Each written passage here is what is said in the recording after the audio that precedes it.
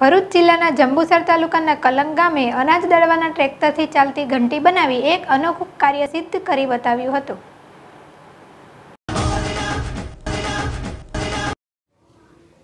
હાલ ઠેર ઠેર અનાજ દરવાની ઘંટી મોટરથી કે ઇલેક્ટ્રિકથી ચાલતી હોય છે.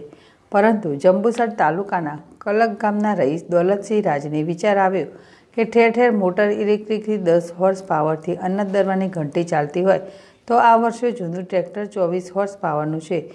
તો કેમ ઘંટી ન ચાલે? અને દોલતસિંહે અનાજ દરવાની ઘંટી ચાલુ કરવાના પ્રયત્નો હાથ ધર્યા અને ઘર આગળ ટ્રેક્ટરથી ચાલતી અનાજ દરવાની ઘંટી ચાલુ કરી. એક ક્વિન્ટલ અનાજ દળવામાં ચાર લીટર ડીઝલનો ઉપયોગ થાય છે.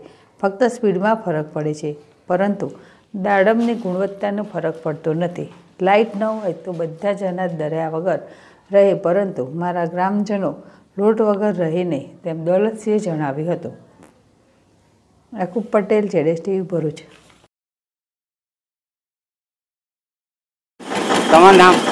પલક ગામનો રહેવાસી છું. દોલતસિંહ રાજ મારું નામ છે. હું ઘંટી ચલાવું છું. અને ઘંટી સારામાં સારી ચાલે છે.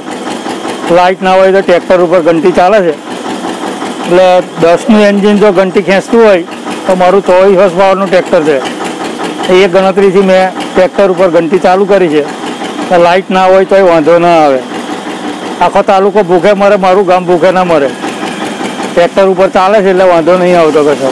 તમને આ વિચાર કેવી રીતે આવ્યો? અને દસ હોર્સ પાવરનું એન્જિન જો ઘંટી ખેંચતું હોય તો મારું ટ્રેક્ટર તો ચોવીસ હોર્સ પાવરનું છે.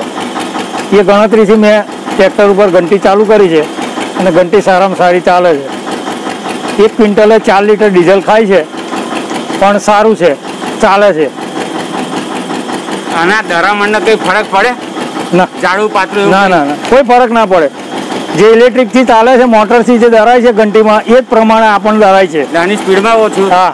સ્પીડમાં થોડોક ફેર પડે છે પણ સારું દરાય છે. મોટી ઘંટી જેવું જ દરાય છે. અને સારું ચાલે